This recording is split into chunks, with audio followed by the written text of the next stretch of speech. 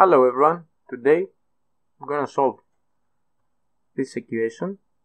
So we have 3 raised to the 1 minus x minus 3 to the x equals to 2. Let's start to see how we can solve this. First we have 3 raised to the 1 minus x. This can be written, we have 3 raised to the 1 minus x equals, we know it's 3 over 3 to the x. So if we substitute here, we have 3 over 3 to the x minus 3 to the x equals to 2. Now we multiply both sides with 3 to the x, right here. So this becomes, we have 3 to the x times 3 over 3 to the x minus 3 to the x times 3 to the x equals to 2 times 3 to the x. So this and this is gone. This is 3 to the x squared. So we have 3 minus 3x squared minus 2 times 3 to the x equals to 0. Now we multiply both sides with minus 1 times minus 1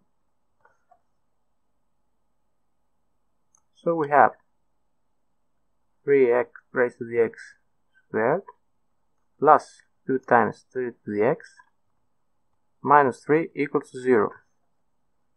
Here we see a form of quadratic equation. And now if we let, let right here, u equals 3 to the x, this can be written as u squared plus 2 times u minus 3 equals to 0. Here it's easy to find the solutions. You can see that the solutions are 1 and minus 3. So this can be written as u minus 1 times u plus 3 equals to 0.